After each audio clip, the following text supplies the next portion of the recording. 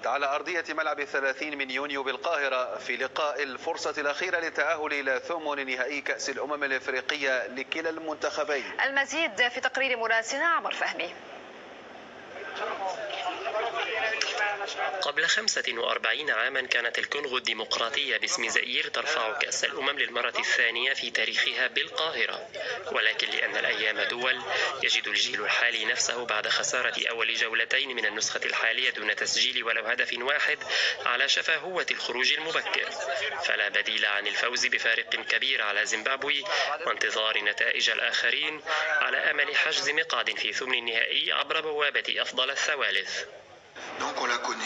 نحن نعرف زيمبابوي جيدا. علينا التحلي بالحذر كي لا نسقط فريسة لهجماتهم المرتدة. وعلينا أيضا أن نهاجم بحثا عن الفوز. فلا يمكننا الاكتفاء بالتراجع والانتظار. وندرك جيدا أن نجمهم خام بليات لاعب رائع للغاية. زيمبابوي في المقابل لم تعرف تجاوز مرحلة المجموعات في مشاركاتها الثلاث السابقة ولكن الفوز على الفهود إن تحقق فسيضعها بنسبة كبيرة في الدور التالي إلا أن المحاربين مطالبون قبل أي شيء بالتوقف عن إهدار الفرص السهلة التي لم يحسنوا استثمارها خلال التعادل أمام أوغندا. I think in football أعتقد أن خلق الفرص يعتبر مؤشرا طيبا حتى لو تم إهدارها. هو أمر طبيعي أن يكون هناك إهدار للفرص فيوما ما تسجل ويوما آخر لا تفعل.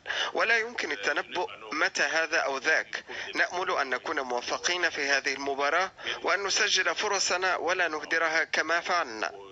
الفريقان سيتواجهان وسط أجواء هادئة جماهيريا. فاللقاء يتزامن مع مباراة تأمين صدارة المجموعة لأصحاب الأرض.